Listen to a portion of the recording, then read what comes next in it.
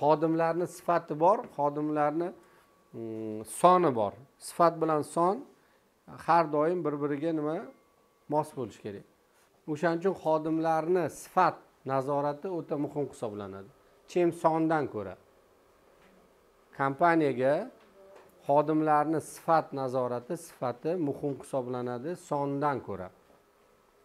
Ya'ni kompaniyangizda o'nta xodim bo'lishi mumkin lekin ellikta xodim ishini bajarsa bo'ladi.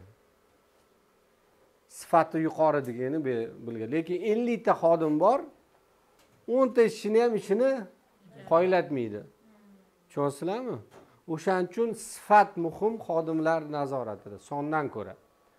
Bekorga sonini ko'paytirish nima deydi? Bemaza qovunni urug'ini ko'paytirish bilan barobar. Bu biznesga plyusga ishlamaydi hech qachon.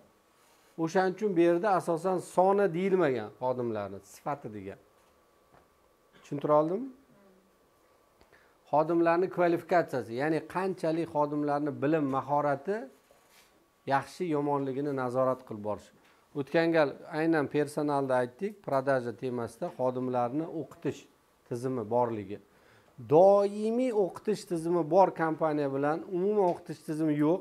Yoki ora chorada o'qitadigan kompaniyalarda katta farq bo'ladi. Yaxshi kelajagi bor katta kompaniyalarda постоянно xodimlar kvalifikatsiyasiga e'tibor beradi. Постоянно har hafta har oy har kuni nimadir beradi xodimga. Nimadir. Bermasangiz talab qilishga haqqingiz yo'q. Qozonda bo'lsa nima deydi? Cho'michqa. Oldin berish kerakda xodimga. Xodimdan ko'p foydani ko'p продажani talab qilish uchun ko'p sotadigan xodim qilib olish kerak oldin unga bermasdan texnika продажani mahsulot to'g'risida kompaniya to'g'risida bilim bermasdan turib qanaqasiga siz talab qilasiz? Bizda mana shunaqa narsada.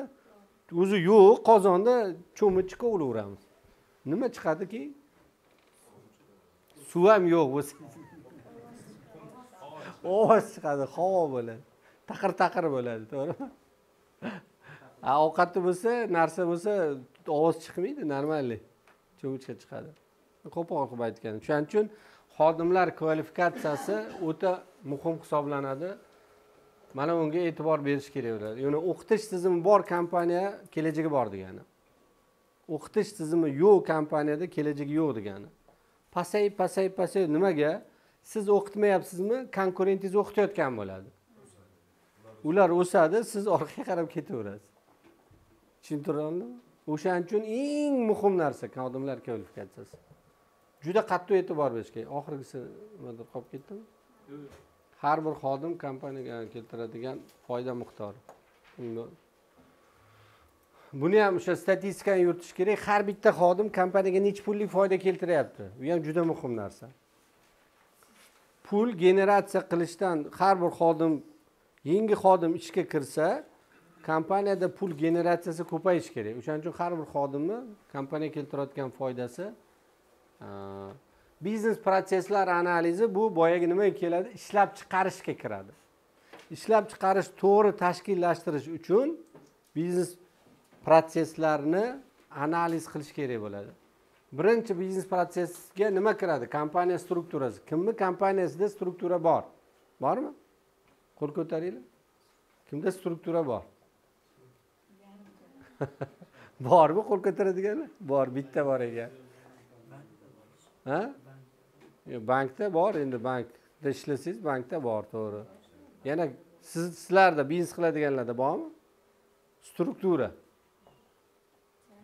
Chala. Nimani xohlayapsiz ha? Nimani kutyapsizlar? Nimani xohlayapsizlar nimani o'ylayapsizlar? Продажа qilishim kerak. Foydani oshirishim kerak lekin strukturani o'zi yo'q.